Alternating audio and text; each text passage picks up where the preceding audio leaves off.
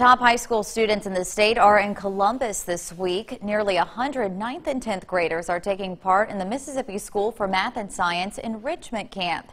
Campers are getting an up-close look at some of the options available to them as potential MSMS students.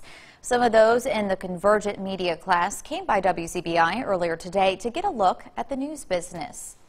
So the students have been um, working with video editing software, working with, uh, with, with, learning how to write, learning how to take pictures, learning how to use all this stuff in a way that they can take home, hopefully, and use principles of solid journalism and broadcast journalism. Students have been surveying a wide variety of courses from medieval technology to the mathematics of flight.